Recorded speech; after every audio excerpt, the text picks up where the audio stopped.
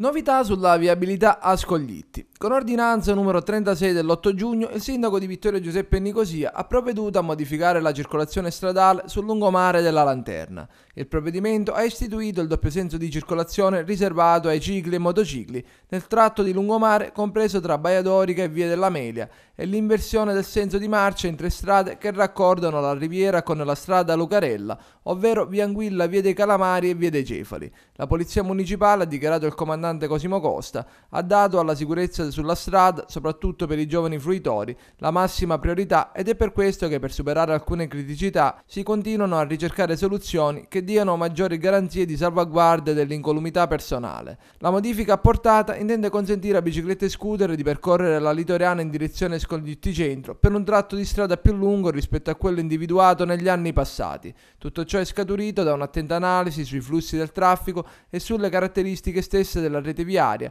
che costituiscono un potenziale potenziale pericolo per l'incolumità pubblica di giovanissimi fruitori che provenendo da Baia Dorica sono stati finora obbligati a utilizzare lo stradale Lucarella per raggiungere il centro della frazione. L'intento, aggiunge il sindaco Nicosia, è quello di garantire maggiore sicurezza ai nostri giovani che a Scoglitti utilizzano molto gli scooter e le bici. Abbiamo preferito allungare il tragitto di ritorno da Baia Dorica per cicli e motocicli e farli risalire da una parallela della riviera piuttosto che dallo stradale Lucarella e abbiamo anche trovato una soluzione per raggiungere proprio Lucarella da un accesso meno pericoloso.